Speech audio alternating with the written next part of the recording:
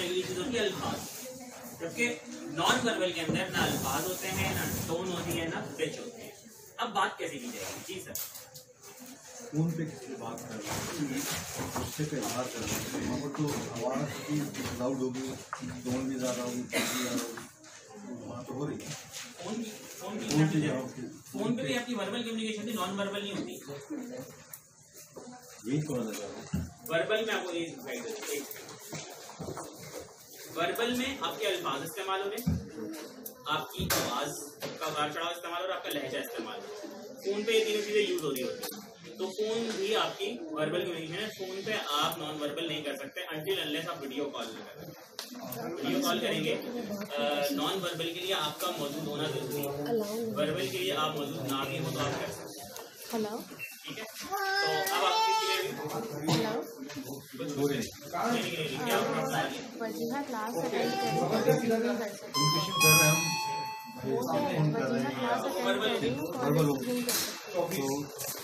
तो मैंने क्वेश्चन नहीं किया। अच्छा हैं जो नॉन वर्बल कम्युनिकेशन होगी उसके अंदर हमारे अल्फाज इस्तेमाल नहीं होंगे आवाज़ इस्तेमाल नहीं होगी आवाज़ का भी नहीं हो रहा लहजा भी नहीं हमारा पता चल रहा ठीक है?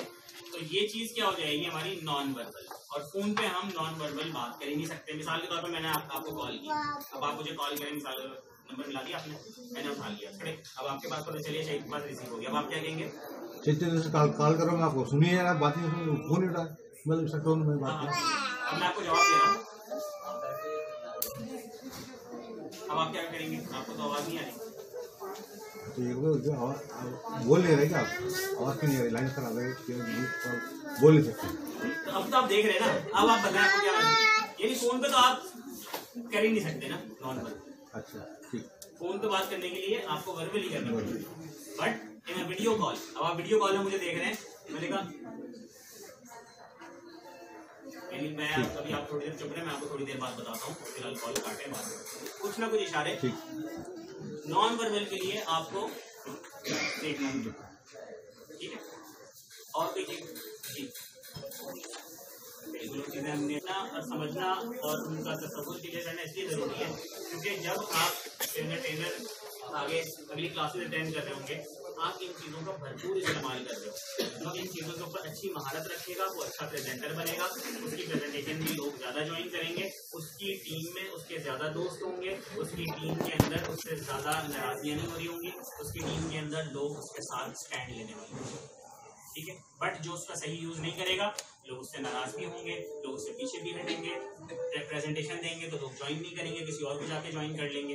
ये सारे प्रॉब्लम्स कब हो रहे होंगे जब हम इन चीज़ों को सही से कॉन्सेप्ट को क्लियर नहीं करेंगे। ओके नाउ अब हम आते हैं नॉन वर्बल नॉन वर्बल के लिए फेशियल एक्सप्रेशन फेशियल एक्सप्रेशन जो है बहुत ज़्यादा ज़रूरी है। अब अगर किसी ने गुस्सा करना है तो वो कैसे करेगा?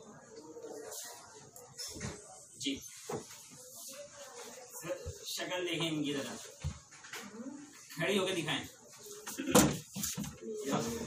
ये बैठ गई खड़ी होते होते। गुस्सा कैसे होगा?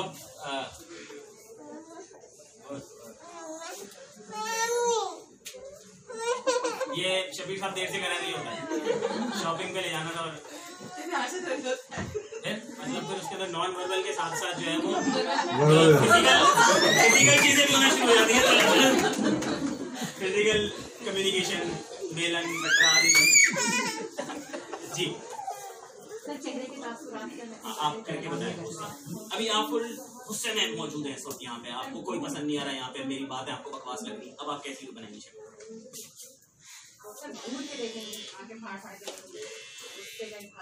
घूर के तो मोहब्बत में भी देखते हैं लोग अपने अपने तजुर्बे ना बताएँ अच्छा अच्छा क्या हाल है कि आप अ, आपने आई कांटेक्ट आप नहीं मिला रही हैं आप गुस्से में हैं आपकी बाहें चढ़ी हुई हैं ठीक है? उन्होंने तो नाक भी फुलाई थी। मतलब इसी तरह से तो नाक बाहें चढ़ जाना जो हम यूज़ कर रहे हैं ठीक है?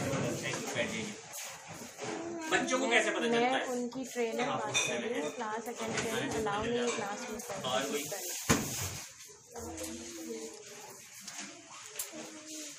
नॉन वर्बल का बात करना मना है ना? बात ये नो टॉकिंग मना है। वर्बल का भी अगली क्लास में ऐड करना पड़ेगा बड़े सही उन्होंने भी बता दिया था डायरेक्ट क्यों? इन्होंने भी बता दिया क्यों? तो कोई भी काम करते होते बच्चे कुछ करने लगते हैं तो आप यही करती होंगी है ना समझाने के लिए। घर में कोई किसी के बच्चे तो होंगे खानदान में नहीं है बच्चे। बड़े ही आते हैं आपके पास नहीं मतलब घर में नहीं देख रहा है ये कुछ काम कर रहे हैं और देख रहा है कि मामा गुस्से में और मुझे बस लेकिन इसमें तो आपकी आपकी पिच आ गई ना या टोन? आ गई यहाँ पे ढक्कन लगा हुआ आप सिर्फ़ सांस ले सकते हैं।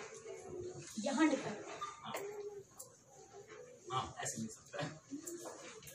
ठीक है तो आपके एक्सप्रेशन जो होंगे फेशियल एक्सप्रेशन वो लोगों को बता रहे होंगे हम फेशियल एक्सप्रेशन करते हैं इन्होंने गेस्चर भी इसके बाद हैंड गेस्चर के साथ साथ आई कांटेक्ट भी है कि हम आँखों से भी गुस्सा कर सकते हैं बच्चों के ऊपर या बड़ों के ऊपर जिसके भी चाहे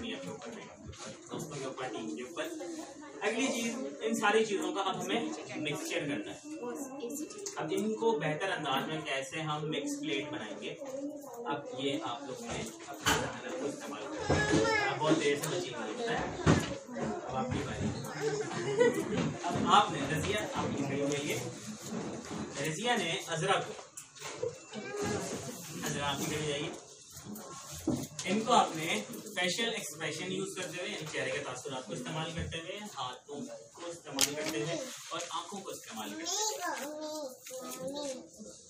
ये एहसास दिलाना है कि क्या एहसास लेना चाहिए बहुत अच्छी ड्रेसिंग करके आप ये इनको कहना चाहते हैं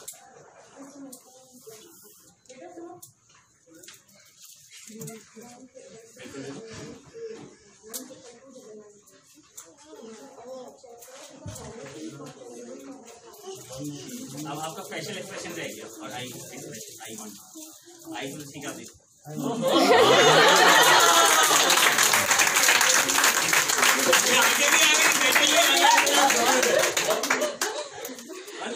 एक्सप्रेशन है भाई। नहीं नहीं नहीं नहीं नहीं, ऐसे थोड़ी है। किसने कहा था मैंने? ऐसे आई मिनिस्टर की चेयर पे बैठी थैंक यू सो मच बैठ भाई। सबने देखा? बैठ जाइए इसी तरीके की चीज़ें होती हैं, जो अक्सर हम अपने साथ फ्रेंड्स फैमिली में बैठे हुए होते हैं। दो चार दोस्त होते हैं, कोई मोबाइल में क्योंकि अक्सर शेख में मोबाइल में लगी हुई होती है। तो मैं, सलवा, मदर साहब और भी टीम के लीडर हमारे बैठे हुए होते हैं। तो हम लोग कोई आँखों या इशारा में कोई बात करते थे और फिर हम हंस रहे होते हैं। फिर बाजी मुझे भी बताओ, क्या हुआ? हमने जो होना था वो हो गया था निगत के साथ हुआ। तो प्रेजेंट रहना होता प्रेजेंट हमेशा रहना होता है। अच्छा जी, अब किसकी बारी है और कौन अच्छे तरीके से एक्सप्रेस करना चाहेगा? फेशियल एक्सप्रेशन जी, आयशा बानो खड़ी हो जाइए। सही है ना तो आँखें भी नज़र आ रही भवें भी नज़र आ रही है। इसके अलावा क्या नाक बुलानी है चढ़ानी है। अच्छा। जी, आयशा आप जो हैं, वो इरम शेख इंग्लिश खड़ी हो जाइए।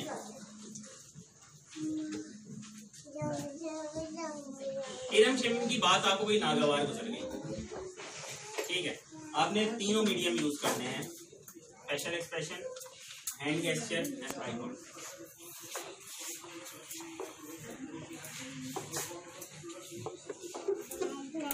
बात सोचनी पड़े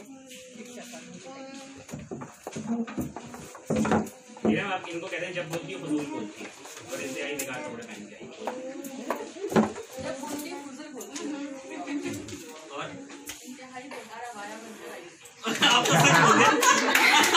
अब आया बोल दिया और दिल की बात नहीं बोली। भाई कपड़े बोला था मैंने। अब आपने क्या करना है? इनको ये एहसास दिलाना है कि आपको ये बात नागवार गुजरी है जिसमें आपने अल्फाज का टोन का और जो है वो पिच का इस्तेमाल नहीं करना। आपने हाथ का आँखों का और फेशियल एक्सप्रेशन का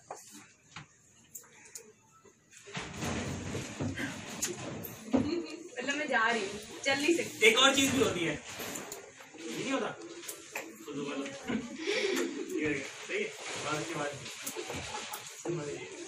लोग क्या एंजॉय कर रहे हैं ठीक है ना?